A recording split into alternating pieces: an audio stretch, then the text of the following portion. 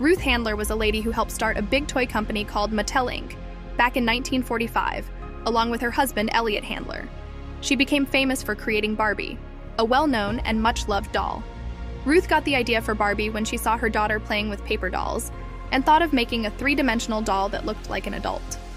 In 1959, Barbie was introduced at a big toy event in New York City, and it became really popular. Barbie became known for having different jobs and outfits, showing that girls could do many things. Ruth Handler's idea changed how people thought about dolls, and Barbie became one of the most famous toys in the world. Besides Barbie, Ruth also helped create other successful toys, making her a big name in the toy industry.